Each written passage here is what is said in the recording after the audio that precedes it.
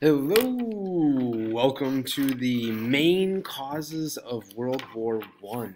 All right, the causes of World War One are actually caused by four different causes and then a spark.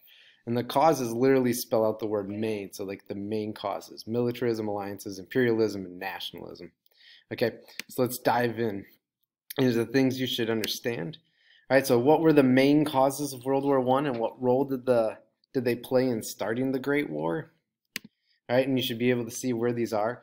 Militarism is the M, militarism. So military, it's a policy of glorifying one's armies. So a key word association for militarism could be army, okay, or military. It's glorifying it. It's making it better. It's making it big, right? Kaiser Wilhelm, the king of Germany says, I and the army were born for one another. Like, I am meant to be in the military. That is his life. So he's a militarist.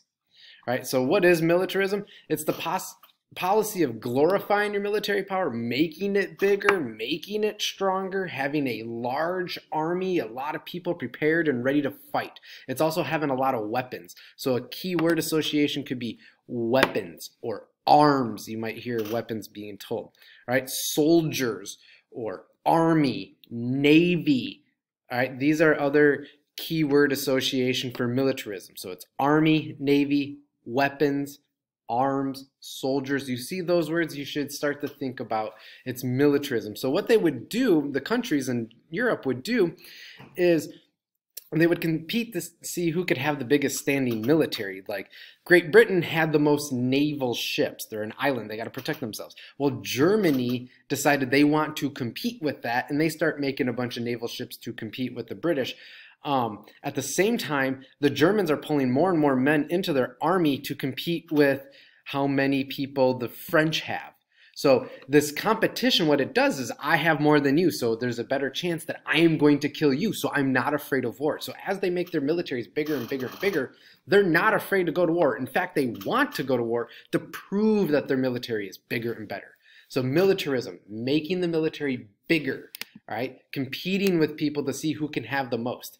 And you can take a look here and you can pause the video if you wanted to, but the amount of money that is spent leading up. The war starts in 1914. If you look at like 1908, where countries started and how much they spend at the end, like Germany almost doubled how much money they were spending in five years on their military. France, same thing, right? These people are spending a lot, a lot of money gearing up for war. All right, and you can see here like the size of the army. Great Britain's 700,000, but the Germans had 4.2 million. The reason they had 4.2 million people in their army is because France had 3.7 right? The Germans also have 281 naval ships. That is to compete with the British 388 ships, okay? Um, so they're competing back and forth who can have the most uh, weapons, who can have the most men, the most naval ships, okay, the most gear leading up to it. They really want, and this like you know makes them proud, makes them excited. They they want to go to war. Make no doubt about it. They want to go to war. Okay. Also, prior wars have glorified war even more. Like um, Germany and France had a war. France lost this chunk of land called Alsace-Lorraine. Because they lost it, they are now mad at Germany and they want an opportunity to go to war with Germany so they can get their land back. Okay, so that's militarism too, this desire for war to get the land back. Alliances is the A in mains. Now, what an alliance is, is where uh, two countries agree to support each other if one of them is attacked. Okay, keyword association support, agreement, right? Help, ally, or alliances. Ally is A L L Y. Okay, um, why would a, a nation agree to help another? Well, if you have a really small country who's kind of fighting with a big country, the little country is going to need a big country to help them out. And so the little country will team up with other people. And so what this war will be is three main powers on each side. The Triple Entente, also called the Allies, will be Great Britain, France, and Russia. The Triple Alliance, which will be known as the Central Powers, will be Germany, Austria, Hungary, and the Ottoman Empire. So these two are alliance. These three agree to help each other these three agree to help each other. So when one, like if Germany attacked Britain, Great Britain, France and Russia would then jump in, and vice versa. You know, if Great Britain attacked Austria-Hungary, Germany and then the Ottoman Empire would jump in.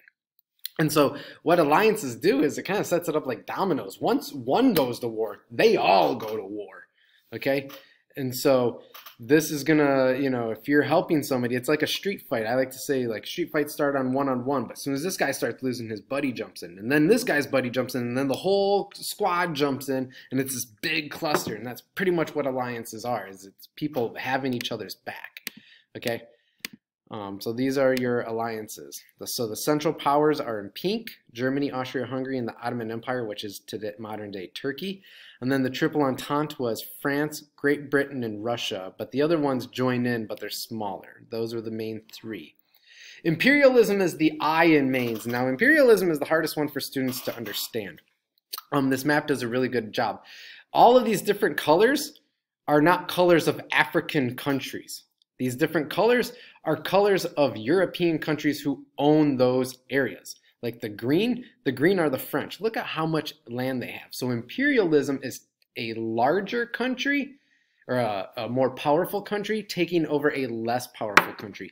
It is taking land and resources in another part of the country. So you're taking somebody else's land and resources. So land, resources, those can be keywords for imperialism. What the Europeans were doing prior to World War One is they were fighting over the land and resources. So two keywords here in Africa.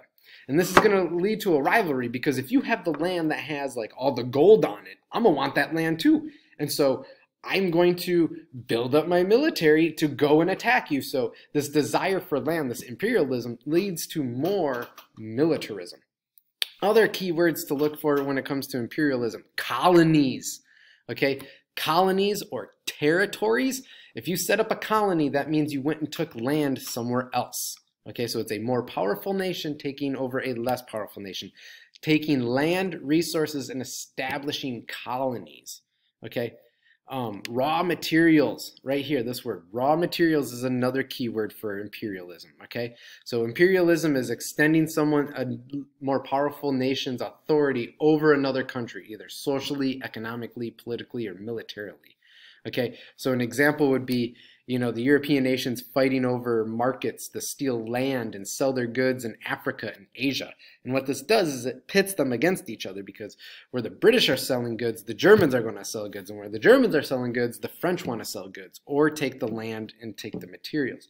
So they're going to fight each other. So this imperialism actually leads to militarism. They're going to want to fight each other okay and they're going to build up their resources the bigger the colonies or the more land you own around the world the more the bigger the military you need to defend it okay so this is a good picture of imperialism too like the pizza is africa and then you have all of these uh, European nations taking a slice of Africa okay they're taking over other land that is not theirs Right? And then nationalism is the last one. Right? Nationalism is the belief that your people, your country is better than everyone else. So we are better than you is the best definition of nationalism. Better is a key word. All right. Better, best, or superior. They think they're superior than other people.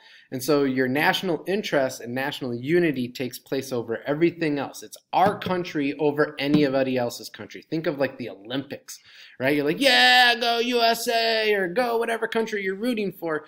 That's nationalism. When you believe in your country in that situation, that's nationalism.